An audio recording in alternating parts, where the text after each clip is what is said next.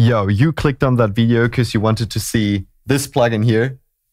This is called Fusion, and Fusion is my new spectral resynthesis. I'm super proud of it, and I would love to walk completely through it and show exactly what it can do and what possibilities it can deliver to you. And I think it is a thing and a good, great tool in 2025, which can definitely help you make your sound design sound so modern and super cool. I would describe it myself as like an angry bee. so let's get into it. So I put some examples into it. We got two basses, one vocal, guitar, drums, and a song. And we go through it. I put Fusion on the group just so I can solo it and go through all of individual sounds. And I think that should work perfectly for this example. All right. So let's get into the first one. We got one bass. Let's open Fusion and enable it. So what we need to do first, this is how it looks. Pretty. so right now, nothing works. To make the plugin work, we need to enable the resynthesis. So what the resynthesis is doing exactly, it takes your sound, it analyzes it, it takes the pitch tracker to track the fundamental frequency, and it tries to do, recreate the sound with a specific FFT formula. This is how it sounds when I turn on the resynthesis knob.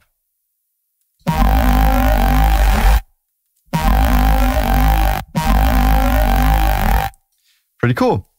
And then we have on the right, we have the emphasis knob, which is um, emphasizing the harmonics of the sound. So on the right, we have a really soft sound.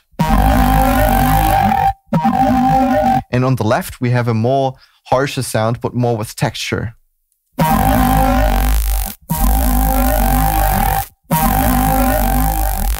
Then we have the split, which is splitting the harmonic content into odd harmonics or even harmonics. We can hear these contents more like as a, for example, as a square, which is only odd harmonics. And then we have also even harmonics, and that's how it sounds, which is basically like a saw one octave up, if you see it that way. Then we have the shift. Shift is basically a formant shifter and a formant filter, where I use a convolution reverb with the tail adjustments. And on the formant filter, I use some specific peaks, which I'm boosting. This is sounding like that. So if we pull it down, it sounds more growly. If we pull it up, it sounds more airy. And these are really cool if you're designing some sounds, or for example, if you have like a post processing rack, you put it before all that stuff. It sounds really cool because you can notch out these peaks. Then we have the compression, or I call it more the low end compression because it affects more the low end. Because if we look at the frequency domain, the first thing which is going to be affected always the low end. So this is the first thing, which is the highest peak, and this is what we compress.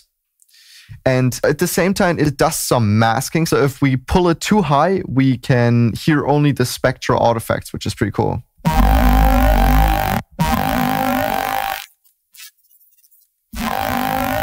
So you can hear the sub gets uh, quieter also, which is it's getting compressed.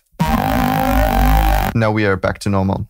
Then on the right, we have a fundamental boost, which is boosting, as the name is saying, the fundamental frequency. And let's boost it up. Up to 12 dB, we can boost it.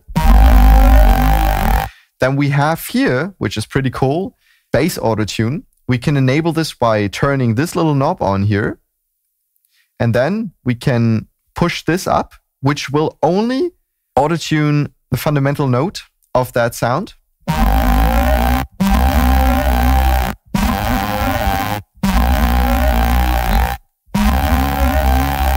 And we can switch the scale from minor to major.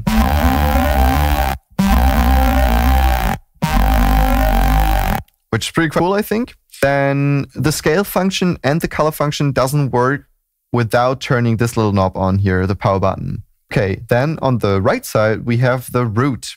So basically, the root is isolating the that because we take out the added sound which goes into the into the FFT patch on Fusion. And I just wanted to isolate pitch tracked signal. That's why I called it root. And here we have the option now also to play with the split, which you can hear clearly the odd and even split also. And the cool thing is we can use also the root technique. If you have like a specific sound where you want to track just the little tone of it, and then you want to process it, that's a perfect opportunity to do, the, to do that. I have an example later with the vocal, what we can do. And then on the end, we have the range. And the range is just for the pitch tracker itself. So we can define the range. If it's a bass note, then we can stay on the little bass logo here. Or if it's like a melody note, we can switch it to melody. So the pitch tracker works better for the melody in this way. All right. And that's specifically it for it. We have a cool like a nice spectrum analyzer for it, and we can also scale it if we want to. And now I would love to just experiment with you guys and just go through the sounds and show you what it can do and how it sounds in general. Double click is bringing the value back to its initial value.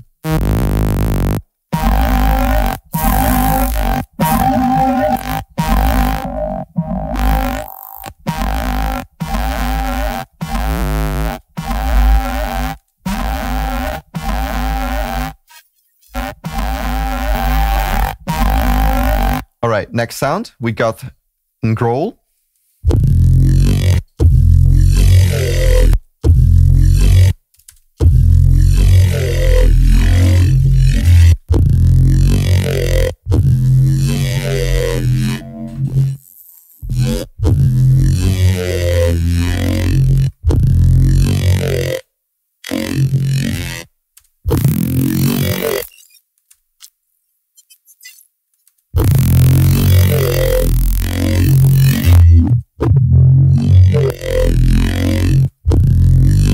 Okay, let's auto tune it now. Now you can hear how it goes like something like that.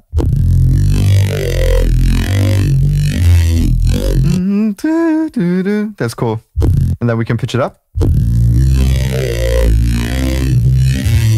How it snaps into the scale, it's pretty cool. And now we put it to minor.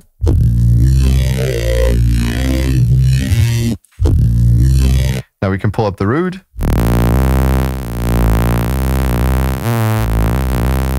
Little fun fact, if we pull up the color all the way up,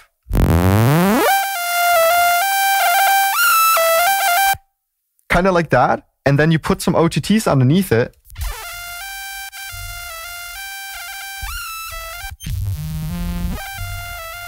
and you can like do this kind of like Leo Leotrix emo boy kind of track sound factor with that. I think that's kind of cool. And let's go to the next sound, vocals. Let's try vocals. And now.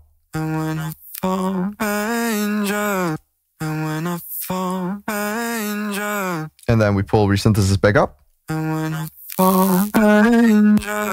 And now we put the range up to melody because I think it works better on this one. Yeah.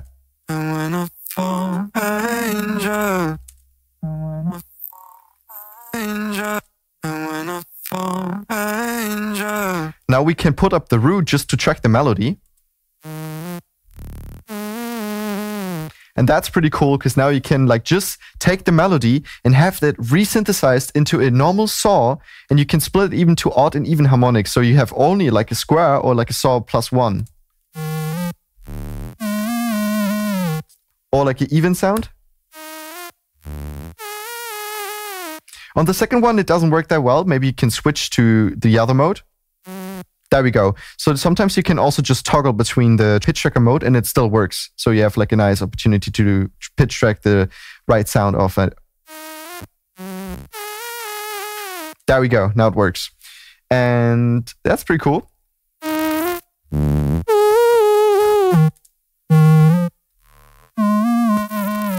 Let's switch to a guitar now. Okay, put it back to normal.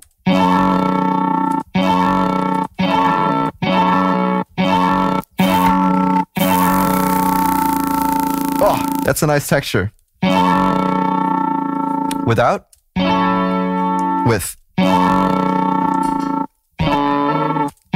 And you can see here the melodic range works better. There you go. We can pitch it up also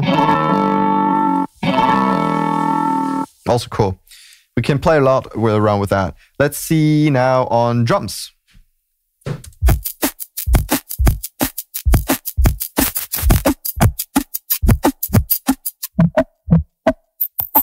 Nice tonalities also. And now we can add the color back. Pull the root a little bit back.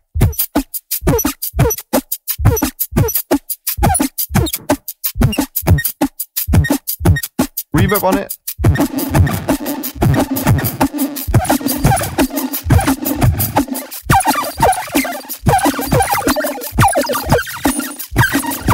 You can do so much stuff with that. It's pretty cool. Okay, let's put it back and let's see on a song. I think on the song itself, it's also really, really cool for transitions. So you can go back from from resynthesis to full resynthesis. So let's try it on a song. Without.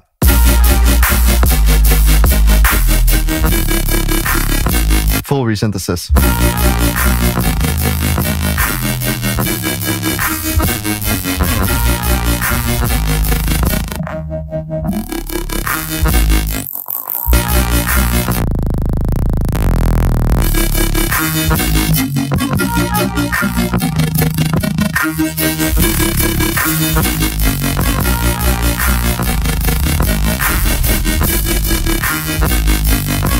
Of course, root functions the same.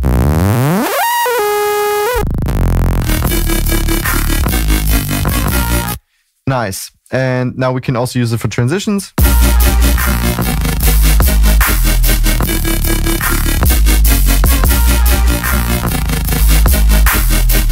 And I think that's pretty fucking dope.